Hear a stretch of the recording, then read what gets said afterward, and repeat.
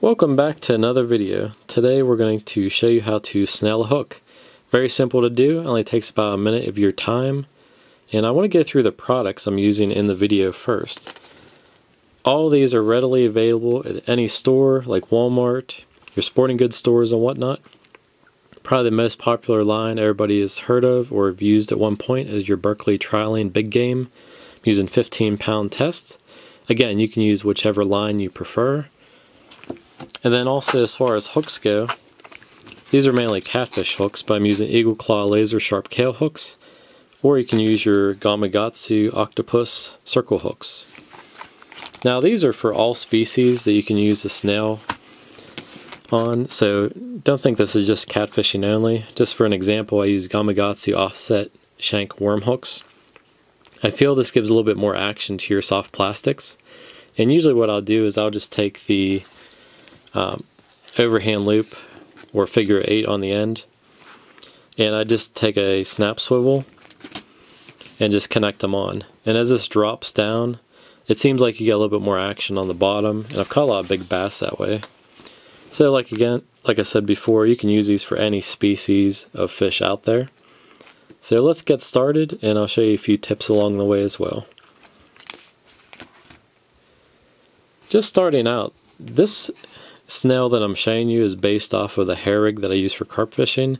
It's not even really a knot. It's more of when you tie this on, just the tension holds everything in place. So really easy to learn. I'm going to take off a section of line, let's say about 14 inches. Again, it all is being determined by how long you want your rig to be. So let's cut that off there. So once you cut this off, next thing you choose whatever type of hook you're going to use. I'm just going to use one of these Kahle hooks from Eagle Claw. They show up on camera really nice too with the background, so it'll be easier to see. Okay, first step.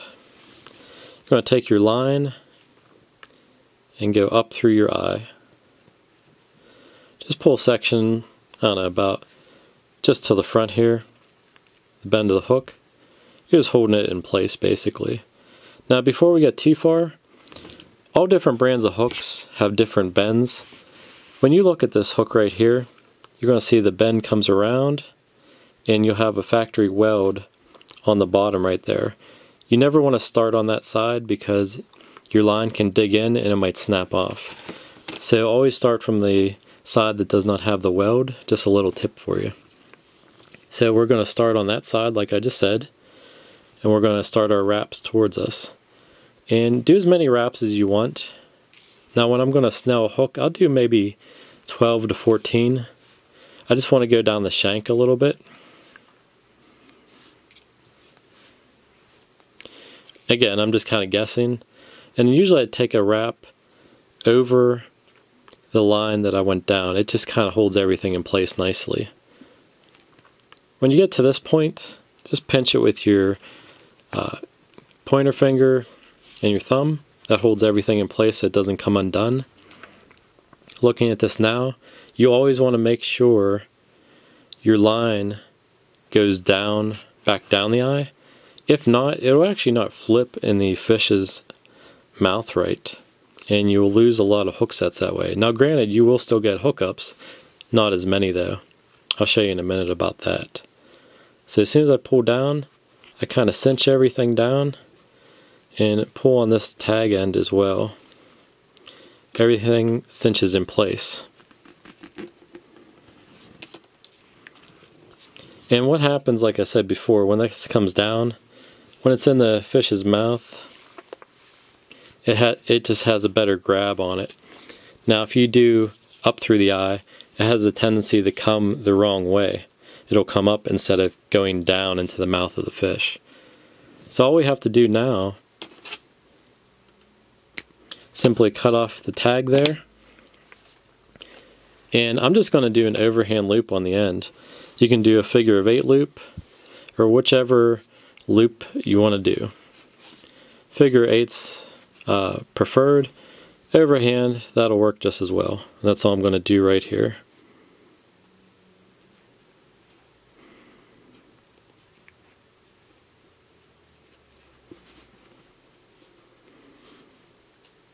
And usually I would wet down all my knots beforehand, but for video purposes, I'm just showing you, you know, what it looks like. And of course, cut off the tag right here.